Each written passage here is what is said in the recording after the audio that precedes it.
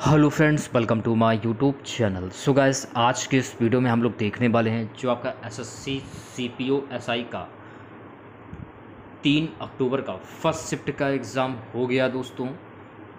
तीन अक्टूबर first shift में पूछे गए सभी क्वेश्चंस इस वीडियो में डिस्कस करेंगे।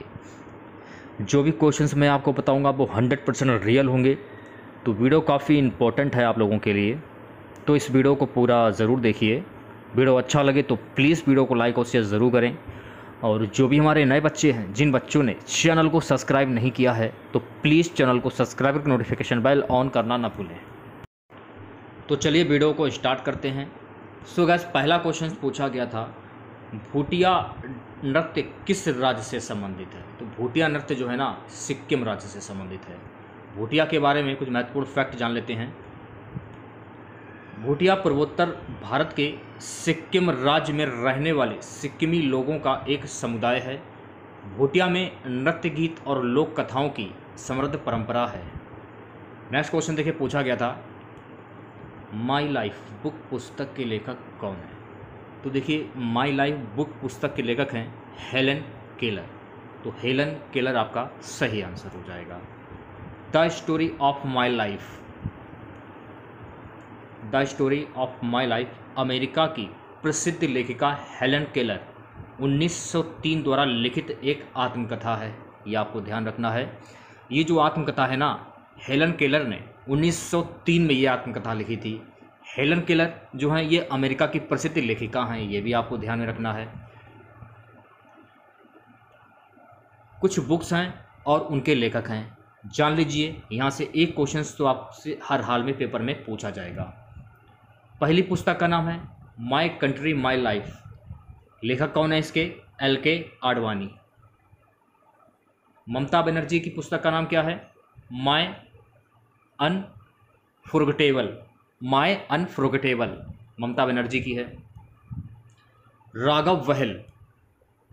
राघव राघव वहल की पुस्तक का नाम है राघव वहल सुपर पावर। दमन सिंह की पुस्तक का नाम है स्ट्रिक्टली पर्सनल। स्ट्रिक्टली पर्सनल ठीक है? तो इस क्वेश्चन से आप लोगों को इतनी जानकारी प्राप्त हो जाती है। नेक्स्ट क्वेश्चन देखेगा।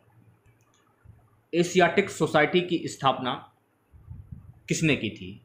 तो एशियाटिक सोसाइटी की जो स्थापना है ना सर विलियम जोन्स के द्वारा की गई थी। तो सर विलियम जोन्स आपका सही आंसर हो जाएगा।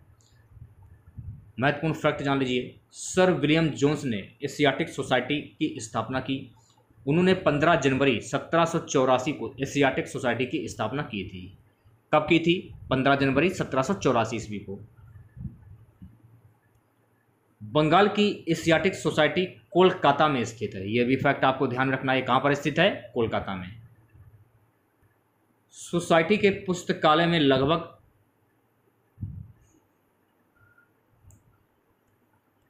लगभग इसमें देखिए एक लाख सामान्य खंड हैं और इसके संस्कृत खंड में सत्ताईस हज़ार से अधिक पुस्तकें, पांडुलिपियाँ, सिक्के प्रिंट और नक्काशी हैं। ये भी फैक्ट आपको ध्यान में रखना है, ठीक है? अगला क्वेश्चन देखिए, पूछा गया था, भारतीय संविधान की आठवीं अनुसूची ये किससे संबंधित है? तो भारतीय संविधान की आठवीं अनुसूची जो है ना, ये भाषाओं से संबंधित है। भारतीय संविधान की आठवीं अनुसूची में भारत की सभी आधिकारिक तौर पर मान्यता प्राप्त भाषाओं की सूची प्रदान की गई है। दूसरी बात, यह संविधान के अनुच्छेद 344 एक और तीन सौ इक्यावन में पाई जाती है। तो यह भी फैक्ट आपको ध्यान में रखना है। अगला क्वेश्चन, पृथ्वीराज तृतीय किस वंश से संबंधित था? पृथ्वीराज तृतीय जो है ना, ये चौहान वंश से संबंधित थे। अगर पृथ्वीराज तृतीय की अगर हम बात करें तो पृथ्वीराज तृतीय का जो शासनकाल था, ग्यारह से ग्यारह तक इनका शासन था, जिन्हें आमतौर पर पृथ्वीराज चौहान कहा जाता है। चौहान वंश के राजा थे, उन्होंने वर्तमान उत्तर पश्चिमी भारत में पारंपरिक चौहान क्षेत्र शपा लक्ष्य पर शासन किया था। ठीक है? और ये हिंदू सम्राट जो था, पृथ्वीराज चौहान ये हिंदू सम्राट लास्ट था, आखिरी। ये हिंदू का शासक, हिंदुओं का शासक जो था, ये लास्ट था, ये आपको ध्यान रखना है, ठीक है? इनके दौरान देखिए, कौन सा युद्ध लड़ा गया था? तराइन का प्रथम युद्ध लड़ा गया था। कब लड़ा गया था? ग्यारह सौ इक्यानवे और ग्यारह सौ बानवे। दो युद्ध लड़े गए, तराइन का प्रथम युद्ध और तराइन का द्वितीय युद्ध। तो तराइन का जो प्रथम युद्ध हुआ था, राजपूत शासक पृथ्वीराज चौहान और मोहम्मद गौरी के बीच में लड़ा गया था, जिसमें पृथ्वीराज चौहान ने मोहम्मद गौरी को बुरी तरह से पराजित किया था। कब हुआ था? ग्यारह में। तराइन का जो द्वितीय युद्ध हुआ था, ये युद्ध हुआ था पृथ्वीराज चौहान और मोहम्मद गौरी के बीच में। कब हुआ था? ग्यारह में। इसमें देखिए, पृथ्वीराज चौहान को परास्त कर मोहम्मद गौरी ने विजय हासिल की थी। एक क्वेश्चन देखिए, पूछा गया था कि प्लासी का युद्ध कब हुआ था? तो प्लासी का युद्ध तेईस जून सत्रह सौ सत्तावन ईस्वी को लड़ा गया था। प्लासी की लड़ाई सिराजुद्दौला और रॉबर्ट क्लाइव के नेतृत्व में ब्रिटिश सेना के बीच लड़ी गई थी। ये जून सत्रह में प्लासी बंगाल में लड़ा गया। कहाँ पर लड़ा गया था? प्लासी बंगाल में। इस लड़ाई ने भारत में ब्रिटिश साम्राज्य की नींव रखी। आप लोगों ने देखा होगा कि अक्सर, बक्सर का भी युद्ध पूछा जाता है। तो बक्सर का युद्ध कब लड़ा गया था? अक्टूबर सत्रह में बक्सर की लड़ाई लड़ी गई थी। यह भी आप याद कर लीजिए। नेक्स्ट क्वेश्चन देखिए, पूछा गया था कि बयालीसवा संविधान संशोधन कब हुआ था? तो बयालीसवा संविधान संशोधन उन्नीस सौ छिहत्तर में हुआ था। सन 1976 का बयालीसवा संशोधन अधिनियम भारतीय संविधान के सबसे महत्वपूर्ण संसाधनों में से एक है। इंदिरा गांधी के नेतृत्व वाली, इंदिरा गांधी के नेतृत्व वाली भारतीय राष्ट्रीय कांग्रेस सरकार ने 1976 में इसे पारित किया था। ये भी फैक्ट आपको ध्यान में रखना है। इस अधिनियम को लघु संविधान के रूप में भी जाना जाता है। क्योंकि इसने भारतीय संविधान में भारी संख्या में संशोधन लाए हैं, ये भी आपको ध्यान में रखना है। अगला क्वेश्चन देखिए, पूछा गया था भारत के संविधान का भाग तीन, ये किससे संबंधित है?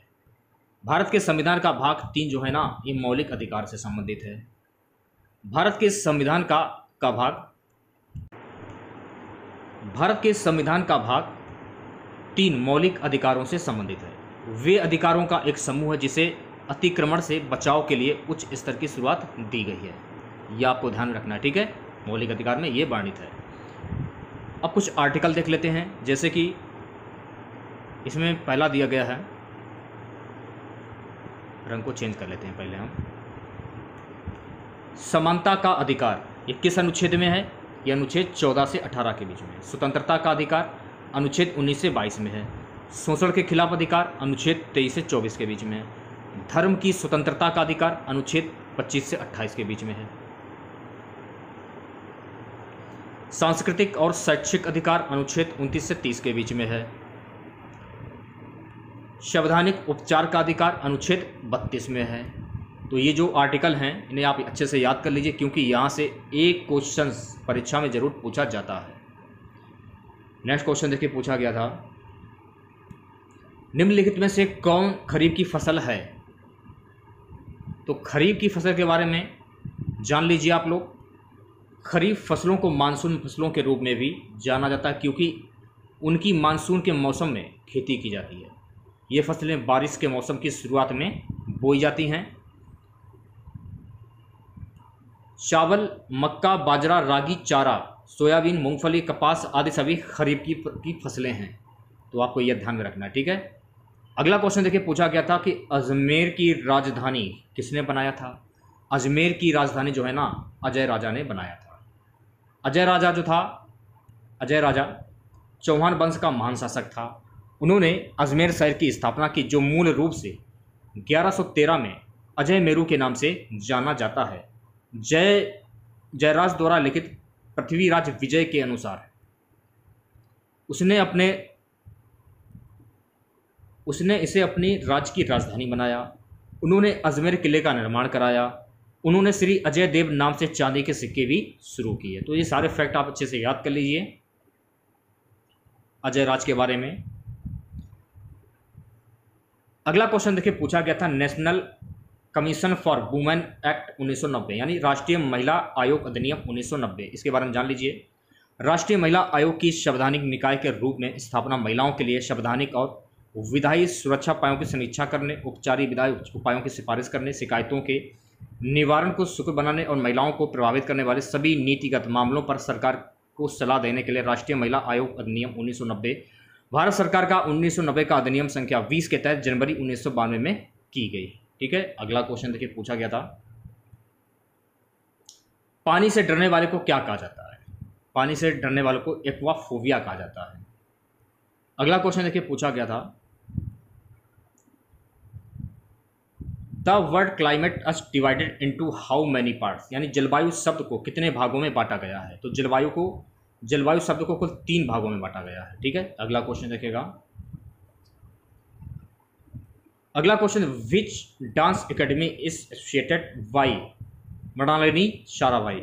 यानी मृणालिनी शाराबाई किस नृत्य अकादमी से संबंधित हैं? तो इनके बारे में जान लेते हैं। काफ़ी सारी चीज़ें हैं। मृणालिनी साराबाई एक भारतीय शास्त्रीय नृत्यांगना और कोरियोग्राफर थीं। उन्होंने प्रसिद्ध वैज्ञानिक विक्रम साराबाई से शादी की। ध्यानपूर्वक देखिएगा वीडियो को। मृणालिनी साराबाई पद्मश्री उन्नीस सौ पैंसठ और पद्म भूषण उन्नीस सौ बानवे की प्राप्तकर्ता थी। तो ये भी आपको ध्यान में रखना है। उन्हें वर्ष उन्नीस सौ चौरानवे में नई दिल्ली में प्रतिष्ठित संगीत नाटक अकादमी फेलोशिप से भी सम्मानित किया गया था। तो ये भी फैक्ट आपको ध्यान में रखना है। देखिए पीडीएफ आपको जो है टेलीग्राम पर मिल जाएगी। आप टेलीग्राम चैनल ज्वाइन कर लीजिए। पीडीएफ आपको वहाँ पर मिल जाएगी। अगला क्वेश्चन देखिए, पूछा गया था कि पहला कॉमनवेल्थ गेम्स कब हुआ था? तो पहला कॉमनवेल्थ गेम्स जो है ना 1930 कनाडा में हुआ था, ठीक है? प्रथम राष्ट्रमंडल खेल 1930 में हैमिल्टन, कनाडा में आयोजित किए गए थे। ध्यानपूर्वक वीडियो को देखना आप लोग। भारत ने पहली बार 1934 में लंदन में आयोजित दूसरे राष्ट्रमंडल खेलों में भाग लिया था। अब बात कर लेते हैं इक्कीसवें राष्ट्रमंडल खेल की। तो इक्कीसवें राष्ट्रमंडल खेल दो दो हज़ार अठारह में gold gold coast city Australia में आयोजित किए गए थे। ये भी आपको ध्यान रखना है। भारत 26 स्वर्ण और 20 रजत और 20 कांस्य पदक के साथ ऑस्ट्रेलिया और इंग्लैंड के बाद तीसरे स्थान पर था। भारत ने 2010 में नई दिल्ली में 19वें राष्ट्रमंडल खेलों की मेजबानी की थी। तो ये भी फैक्ट आपको ध्यान रखना है। देखिए, जो 2022 के जो राष्ट्रमंडल खेल हुए थे, ये कहाँ पर आयोजित किए गए थे? बर्गिंगम में ये आयोजित किए गए थे। तो ये भी फैक्ट आपको ध्यान में रखना है, ठीक है? अगला क्वेश्चन देखेगा। कुचिपुड़ी नृत्य किस राज्य से संबंधित है? तो कुचिपुड़ी नृत्य जो है ना, आंध्र प्रदेश से संबंधित है। अब कुछ शास्त्रीय नृत्य और स्थान है, उनके बारे में जान लीजिए। कथकली किस राज्य से संबंधित है? तो कथकली केरल राज्य से संबंधित है। मोहिनी अष्टम किस राज्य से संबंधित? तो मोहिनी अष्टम भी केरल राज्य से संबंधित है। भरतनाट्यम किस राज्य से संबंधित? तो भरतनाट्यम तमिलनाडु से संबंधित है, ठीक है? कुचिपुड़ी मैंने आप लोगों को बता दिया है, आंध्र प्रदेश से उड़ीसी नृत्य किस राज्य से संबंधित है? तो उड़ीसी नृत्य जो है ना उड़ीसा से संबंधित है। और मणिपुरी किस राज्य से संबंधित? तो मणिपुरी, मणिपुर से संबंधित है। शस्त्रीय नृत्य किस राज्य से संबंधित है? तो शस्त्रीय नृत्य जो है ना, असम राज्य से संबंधित है। कथक कथक जो है ना, उत्तर प्रदेश से संबंधित है। ठीक है? नेक्स्ट क्वेश्चन देखिएगा अगला क्वेश्चन देखिए, पूछा गया था पंद्रहवीं भाषा सिंधी को संविधान में कब जोड़ा गया? तो पंद्रहवीं भाषा सिंधी को इक्कीसवें संविधान संशोधन के द्वारा जोड़ा गया। इक्कीसवां संविधान संशोधन अधिनियम उन्नीस सौ सड़सठ है। सिंधी भाषा को उन्नीस सौ सड़सठ के इक्कीसवें संशोधन अधिनियम द्वारा आठवीं अनुसूची में जोड़ा गया था। अगला क्वेश्चन देखिए, पूछा गया था ध्रुव सेन का संबंध किस वंश से है? ध्रुव सेन का संबंध मैत्रक वंश से है। अगला क्वेश्चन देखिए, पूछा गया था गुलामगिरी पुस्तक के लेखक कौन है? तो गुलामगिरी पुस्तक के लेखक है महात्मा ज्योतिबा फूले। इनके बारे में जान लेते हैं। ज्योतिबा फूले महाराष्ट्र के एक भारतीय समाज सुधारक और लेखक थे। वह भारत में महिला शिक्षा के अग्रणी थे। ज्योतिबा फूले द्वारा पुस्तक गुलामगिरी लिखी गई थी।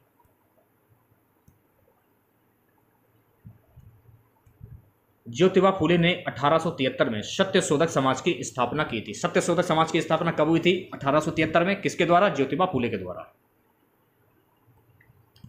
सत्य शोधक समाज ने भारत में जाति व्यवस्था के खिलाफ लड़ाई लड़ी। उनकी पत्नी सावित्रीबाई फूले भारत में महिला शिक्षा की अग्रणी थी। तो ये सारे फैक्ट आपको ध्यान रखने हैं, ठीक है? ज्योतिबा फूले और उनकी पत्नी ने अठारह सौ इक्यावन में पुणे में प्रथम कन्या विद्यालय की स्थापना की थी। नेक्स्ट क्वेश्चन देखिए, पूछा गया था, संपत्ति के अधिकार का उल्लेख किस अनुच्छेद में है? संपत्ति के अधिकार का जो उल्लेख है ना, अनुच्छेद 300 ए में है। अगला क्वेश्चन देखिए, पूछा गया था कि पंडवानी लोक नृत्य का संबंध किस राज्य से है? तो पंडवानी लोक नृत्य का संबंध उत्तराखंड राज्य से है। पंडवानी लोक गायन की एक शैली है जिसमें महाभारत की कहानियों का वर्णन शामिल है। इसमें देखिए आंध्र प्रदेश, मध्य प्रदेश और उड़ीसा में लोकप्रिय है और लोकमंच का यह रूप मुख्य रूप से छत्तीसगढ़ में प्रदर्शित किया जाता है। अगला क्वेश्चन राष्ट्रीय आपातकाल का उल्लेख। किस अनुच्छेद में है? तो राष्ट्रीय आपातकाल का उद्देश्य अनुच्छेद जो है, अनुच्छेद तीन सौ बावन में है इसका उल्लेख। भारतीय संविधान के अनुच्छेद तीन सौ बावन के अनुसार यदि भारत के राष्ट्रपति को लगता है कि बाहरी आक्रमण या सशस्त्र विद्रोह के कारण भारत की सुरक्षा को खतरा है तो राष्ट्रपति संपूर्ण भारत या उसके किसी भी भाग के संबंध में इस आशय की उद्घोषणा जारी कर सकते हैं। अगला क्वेश्चन वर्ष 2001 से 2011 के बीच दशकीय जनसंख्या वृद्धि थी। 2001 से 2011 के बीच दशकीय जनसंख्या वृद्धि सत्रह दशमलव चौंसठ प्रतिशत। अगला क्वेश्चन देखिए, पूछा गया तानसेन किसके दरबारी थे? तानसेन जो है ना, ये अकबर के दरबारी थे। अकबर ने तानसेन को अपने दरबार में नवरत्नों में से एक बनाया और उन्हें मियाँ की उपाधि दी। तानसेन उन्हें ग्वालियर के राजा विक्रमाजीत द्वारा दी गई उपाधि थी। अकबर ने तानसेन को कांताभरण वन विलास की उपाधि दी। वे रीवा के राजा रामचंद्र सिंह और अकबर के भी दरबारी कवि थे। ये भी आपको ध्यान रखना है। अगला क्वेश्चन देखिए, पूछा गया था। तीसरा गोलमेज सम्मेलन कब हुआ था? तीसरा गोलमेज सम्मेलन 17 नवंबर से 24 दिसंबर 1932 को हुआ था। अगर हम बात करें द्वितीय गोलमेज सम्मेलन की तो द्वितीय गोलमेज सम्मेलन 7 सितंबर 1931 को शुरू हुआ था, जिसमें कांग्रेस ने भी भाग लिया था और 1 दिसंबर 1931 को समाप्त हुआ। यह सम्मेलन भी लंदन में हुआ था। प्रथम गोलमेज सम्मेलन कब हुआ था? ये भी जान लीजिए। 12 नवंबर 1930 से 13 जनवरी 1931 तक लंदन में आयोजित किया गया था। अगला क्वेश्चन पंजाब में लोकसभा में कितने सांसद हैं? तो पंजाब में लोकसभा के कुल 20 सांसद हैं, ये आपको ध्यान में रखना है।